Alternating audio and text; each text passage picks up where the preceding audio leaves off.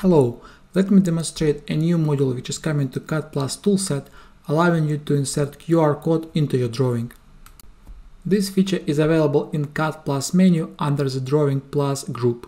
It is also available in SOLIDWORKS toolbar. It is required to specify the data source of your QR code. You can select custom property, file path, part number. Also, if you're using this in SOLIDWORKS PDM Vault, you can use Conisio URL or Web2 URL. So let me start by inserting the custom property description into my QR code. I can modify the parameters in the location group to update the position and size of my QR code. Preview is displayed allowing you to select the optimal position. I can select the dock position, so in this case I want to insert my QR code into the bottom left and specify the offset. Once all parameters specified, we can click a green tick to insert QR code into our drawing. Let's print this drawing and validate the result. We can use any type of QR code readers. Now I'm just going to use my phone to scan that QR code.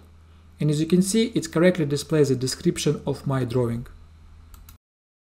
This SOLIDWORKS drawing is managed under SOLIDWORKS PDM Professional Vault.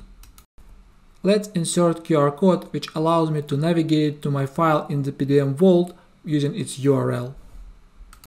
This URL is file path independent, so everyone who has an access to the Vault will be able to browse that file regardless of their local Vault file path. We can now print our drawing and use QR code scanner on our computer to navigate to that file in a Vault. I'm just going to use a Windows-based QR code reader and as you can see it instantly navigates to that file in the PDM Vault. Now I can activate different tabs of PDM Vault to look at my drawing.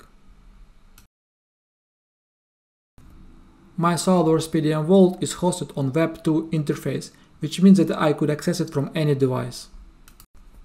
Now let's insert QR code which will point to underlying assembly of this drawing, and the URL will be accessible from any device via Web2 interface. I just need to select PDM Web2 URL and select reference document checkbox and that's done.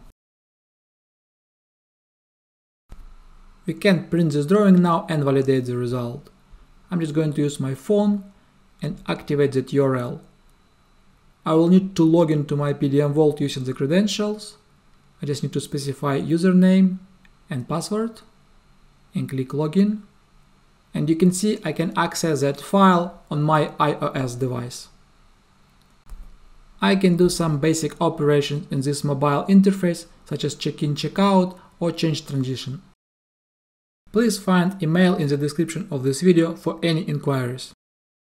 Thank you for watching this video.